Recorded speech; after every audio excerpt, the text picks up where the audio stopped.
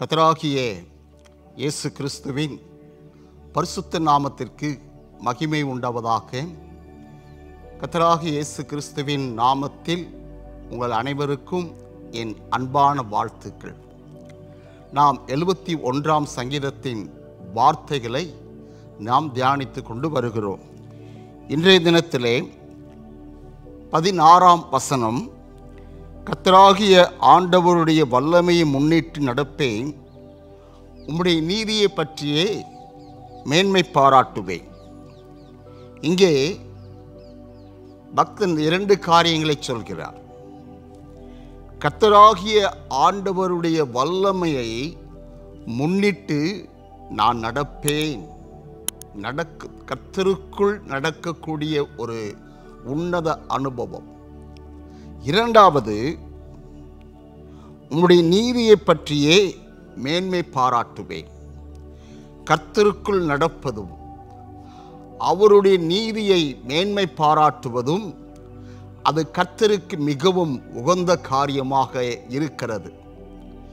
சங்கீதம் இருபதிலே நாம் கடைசி வசனங்களிலே வாசிக்கும் பொழுது சிலர் ரதங்களை குறித்தும் சிலர் குதிரைகளை குறித்தும் மேன்மை பாராட்டுகிறார்கள். நாங்களோ எங்கள் தேவனாகிய கர்த்தருடைய நாமத்தை குறித்தே மேன்மை பாராட்டுவோம் என்று அங்கே சங்கீதக்காரன் சொல்கிறார். ஆகவே நாம் இந்த நாட்களிலே கர்த்தருடைய வல்லமையை நாம் உணர வேண்டும். அந்த வல்லமையை பெற்றுக்கொள்ள வேண்டும். அந்த வல்லமை கர்த்தருடையது.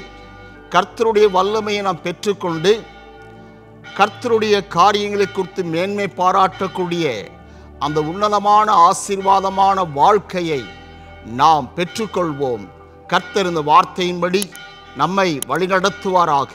ஆமை ஜெபிப்போம். எங்கள் அன்பின் பரலோக பிதாவே ஆண்டவர் இந்த வார்த்தையில் சொல்லுகிறபடி கர்த்தாவை நாங்கள் உடைய வல்லமை முன்னிட்டு நடக்கக்கூடிய அந்த கிருபைகளை உடைய நாமத்தை குறித்து மேன்மை பாராட்டக்கூடிய அந்த உன்னதமான அனுபவத்தை தேவரீர் இந்த வார்த்தைகளை கேட்கிறவருடைய பிள்ளைகளாகிய எங்களுக்கு நீர் கட்டளையிட்டு வழிநடத்த வேண்டும் என்று நாங்கள் ஜெபிக்கிறோம். உடைய நாமத்தை மகிமைப்படுத்தும். கத்தராகி இயேசு கிறிஸ்துவின் நாமத்தில் ஜெபிக்கிறோம் பிதாவே. ஆமை